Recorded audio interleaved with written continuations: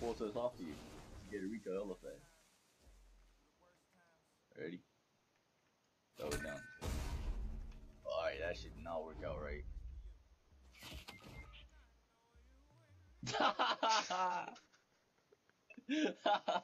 right.